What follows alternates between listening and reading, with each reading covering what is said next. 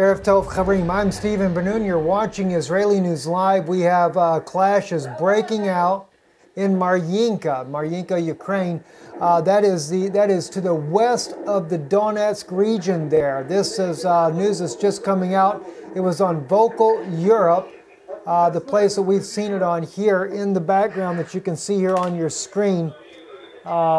It is the video is about six hours old at this time here, as far as being placed here on uh, uh, on Twitter is where the video has been placed at here. Uh, the fighting appears to have broken out possibly just around sunset local time in eastern Ukraine.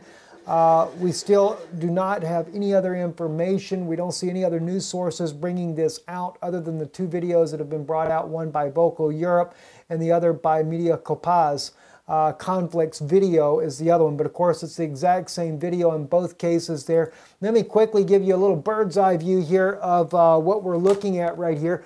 You have Donetsk right here, and just to the west is Maryinka, uh, just the west of Donetsk. Donetsk, of course, being uh, been the, the, really the place of the hot spot there, uh, fighting that has gone on over over time now. But uh, according to the report that's coming out now, it is heavy fighting that is taking place there.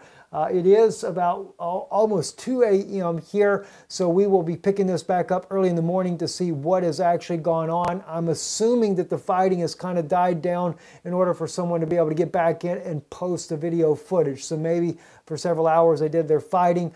Uh, as far as I know, and just quickly, RT might be somebody that would have picked this up. We don't see anything as, as of yet on RT.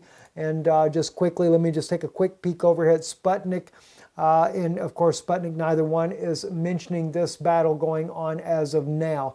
So we will be updating you again early in the morning as soon as we can find out more information that's coming out about this. As of right now, uh, it's still very little information going on. I'm Stephen Benoon. You're watching Israeli News Live. Definitely subscribe. And don't forget, check your channel and see where you're watching this news. If you're on YouTube and seeing it on Israeli News Live YouTube, you're on the right channel. If not, sign out, go out, click over to Israeli News Live YouTube and sign up there, subscribe. I'm Stephen Benoon with Israeli News Live. Shalom.